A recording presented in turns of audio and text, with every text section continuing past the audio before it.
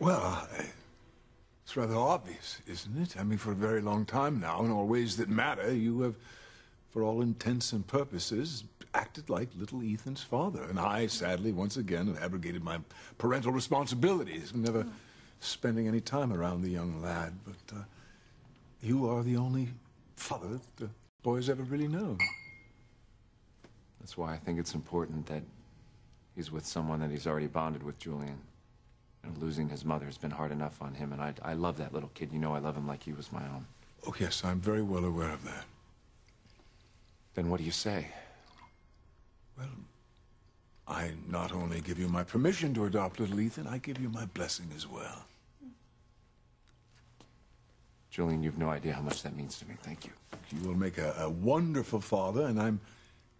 I'm sure this is what Theresa would have wanted.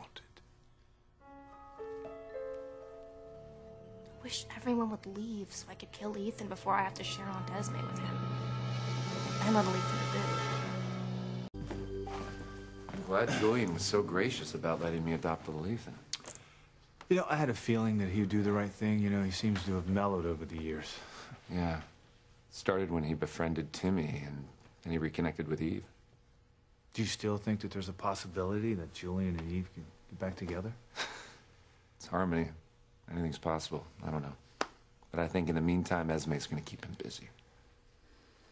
Is she wild? Or what? She... she is absolutely crazy, yeah. But she, you know what, she has a serious side to her, too. She is completely devoted to Vicky. She loves her. I really admire her for that. Esme, she's actually a fantastic girl.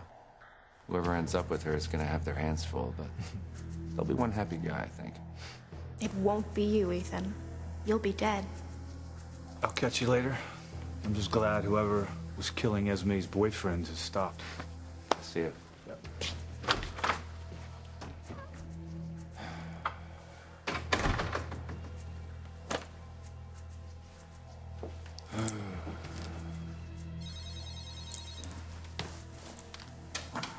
It's Ethan. Hello.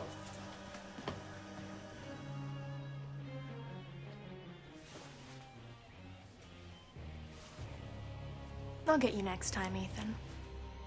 And trust me, there will be a next time.